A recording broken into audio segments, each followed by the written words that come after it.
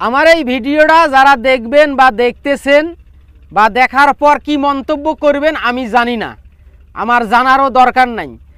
আমার কাছে কথা হলো যেটা সত্য, যেটা বাস্তব, ওটাই আমি উপস্থাপন করব, ওই কথাটাই তুলে ধরব। জহরের নামাজ পড়ার পর মসজিদ থেকে এসে বাড়িতে ভাত খাইতে বইছি।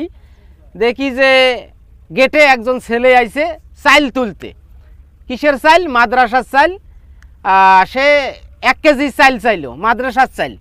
এখন কথা হইল আমার যে পরে বাড়ির থেকে জিগাইলো যে তুমি কি, ছাত্র না ওই মাদ্রাসার কোনো সদস্য অথবা মাদ্রাসার কমিটির কোনো সদস্য? কয় না, আমি ওই মাদ্রাসায় লেখাপড়া করি।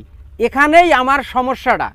আমি ছেলেটাকে মানে যতটুকু সম্মান করার সম্মান করি কিন্তু পাঠে দিছি। কিন্তু কথা হইল সেই মাদ্রাসার আমাদের উলিপুরেরই উলিপুরেরই কোনো এক মাদ্রাসার থাকি আসছে চর এলাকার আর কি।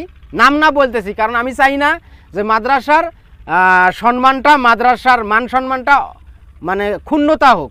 আমি চাই সেই মাদ্রাসার কিন্তু আমার ওই মাদ্রাসার সেক্রেটারি সভাপতি কেশিয়ারের প্রতি বা ওই মাদ্রাসার যারা কমিটি আছে, তাদের প্রতি এই যে ইতিম বাচ্চারা যে মাদ্রাসায় পড়ে, তাদেরকে ওখানে পড়ানোর জন্য দেওয়া হয়েছে বাড়ি বাড়ি চাইল তোলা, টাকা তোলা, ধান তোলার জন্য কিন্তু দেওয়া হয় নাই।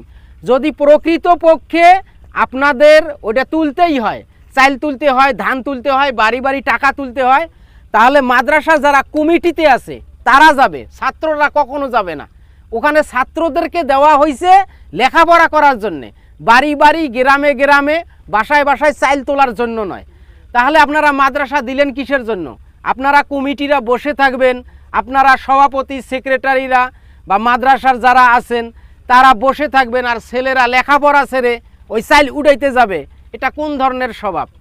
ধর্মীয় সেবা, খুব ভালো সেবা।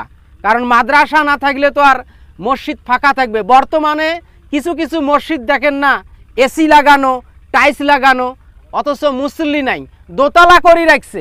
দোতলাকে নিচতলায় পূরণ হয় না। নিচতলায় যে সম্পূর্ণ মসজিদটা আছে, সেই মসজিদের পাঁচ ছয়টা কাতারে পড়ি থাকে।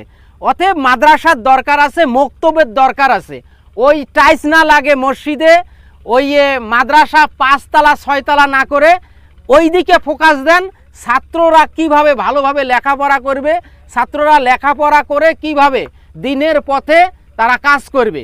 আর আপনারা ওখানে বসে বসে হিসাবপাতি করেন যে অমুক গ্রামে কত চাইল উঠল, অমুক গ্রামে কত টাকা উঠল। যদি কোনো ছেলে কম উঠায় তার প্রতি টর্চার করা হয়। এই জিনিসগুলা মসজিদ কমিটি সভাপতি অথবা মাদ্রাসার কমিটি সভাপতি তাদের কিন্তু দায়িত্ব। যদি আপনাদের টাকার অভাব হয়, আপনারা নিজেই যায়া উঠাবেন।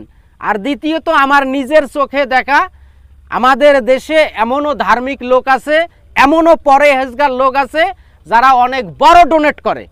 আমার নিজের চোখের দেখা, অনেক ডোনেট করে অথেব ওই মাদ্রাসার ছাত্র দিয়ে আপনারা কখনোই চাইল উঠাবেন না। যদি উঠাইতেই হয়, তাহলে আপনারা নিজেই যাবেন। সভাপতি যাবে সেক্রেটারি যে সেক্রেটারি যাবে, নয়তো কেশিয়া যাবে। নাইলে ওই মাদ্রাসার যে কমিটি আছে, তারা যায় চাইল উঠাবে। কারণ ছাত্রদের ওখানে দেওয়া হয়েছে লেখাপড়া করার জন্য, ইসলাম শেখার জন্য। ইসলাম শেখে তারা দিনের পথে কাজ করবে। তাদেরকে ভিক্ষা করার জন্য ওই মাদ্রাসায় পাঠা হয় নাই, ওই ইতিমখানায় পাঠা হয় নাই। Thank you